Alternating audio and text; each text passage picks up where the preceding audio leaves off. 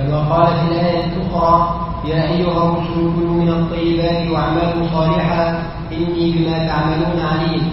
وجعل ذلك لازما لرسوله إلى الموت قال واعبد ربك حتى يأتيك اليقين. وهذا فيه رد على أهل التصوف الذين يقولون بأن الإنسان إذا وصل إلى مرحلة من مراحل اليقين أنه تسقط عنه التكاليف الشرعية.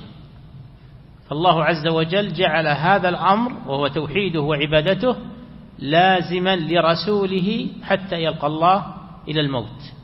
واعبد ربك حتى يأتيك اليقين واليقين هو الموت.